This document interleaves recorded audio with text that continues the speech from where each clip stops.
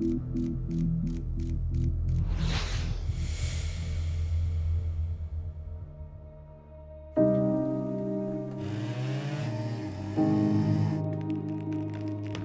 we're starting and we're looking at logs in the wintertime, we make sure that the sap hasn't started flowing, and we have quite a few of them on the property here.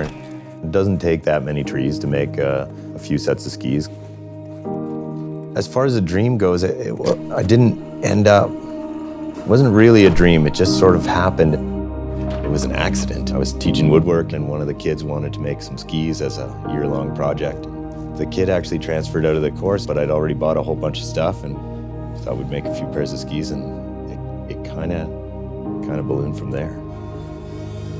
I told myself that I wasn't going to do it as a business. I just didn't want to get carried away, but I, I tend to get carried away. It's my nature a little bit. I think the advantage of being small is that you can control stuff a little bit better than you can in a large manufacturing facility. And there are things that just make the skis better. Like we we arrange the wood in the cores, and I look at every single piece and I glue all the blocks together. And then we saw the blocks apart, and you have matched skis left and right with all the crowns and grain going in the appropriate direction. It makes the skis better. Skiing's been my passion since I was a kid in Winnipeg. I needed to race to the mountains.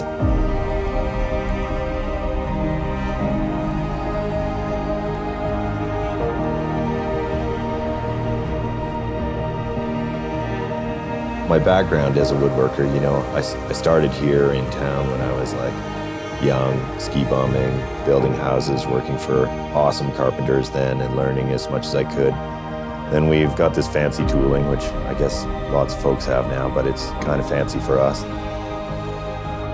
You know, it's an evolution. You start out with an idea and you pursue it until you see its weaknesses and you try and improve on those.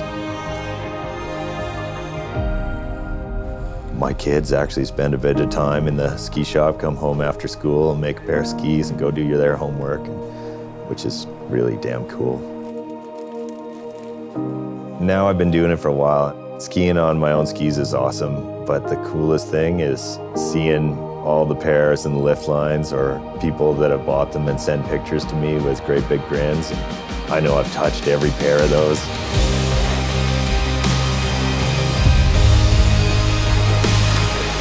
when you're out there seeing other people rip and have a good time on them, that's the best.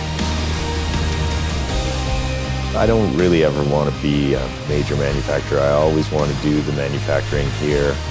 I, I like the hands-on stuff. I'm a little bit of a control freak. I like to constantly see the new problems that come up and try and solve them. Uh, you know, as I get older, my kids can roll into that if they choose to, and that would be it's just neat to see where that might go.